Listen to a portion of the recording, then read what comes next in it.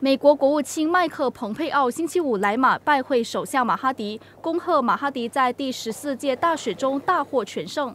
蓬佩奥也是五零九大选后前来拜会马哈迪的最高阶美国官员。他在星期四抵达吉隆坡，对三个东南亚国家展开为期五天的官事访问。他在会见马哈迪后，将会启程南下新加坡，出席东盟外交部长会议。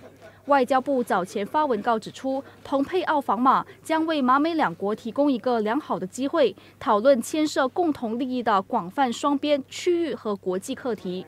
马来西亚是在1957年，也就是当时的马来亚脱离英国殖民统治后，与美国建交。